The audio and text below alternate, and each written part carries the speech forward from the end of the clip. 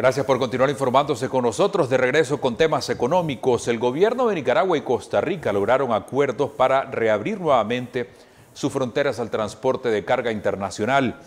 Eh, tras las negociaciones de este fin de semana, se le pone fin a una larga fila que mantenían alrededor de 2.000 conductores que se encontraban desde hace 12 días varados o sus mercancías en ambas fronteras.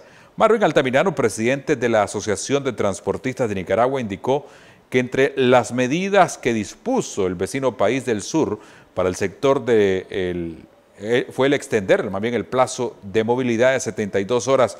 Sin embargo, aseguró que aún este lunes el, el transporte de los cabezales avanza a paso lento debido a las filas que persistían. Veamos.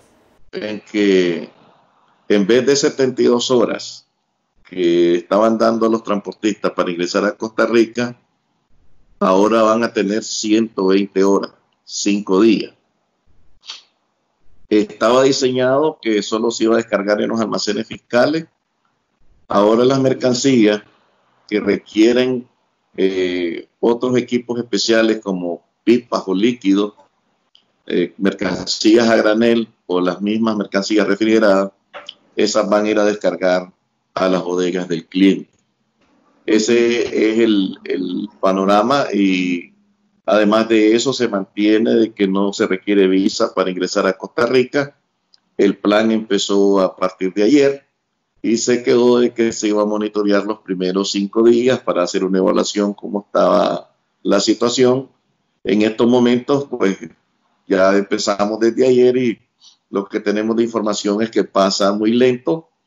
Uno, porque las medidas siempre están aplicando algunas medidas sanitarias y eso tiene cierto tiempo pues para poderse este, caminar. Y por otro lado están haciendo los camiones en convoy para llevarlos a los almacenes o a lugares donde van a descargar y eso también requiere de otro tiempo. Entonces eso es lo que está haciendo un poco lento el ingreso de unidades y si esto no buscan los gobiernos cómo facilitarlo, pues podría ser que estemos con otra situación más difícil después de cinco días, porque en este momento tendríamos nosotros casi eh, como 3.800 camiones que ya tenían mm, documentos registrados para, para, sacar mercancías y llevar mercancías a Costa Rica, y con el paso que va, pues yo creo que se requiere más velocidad.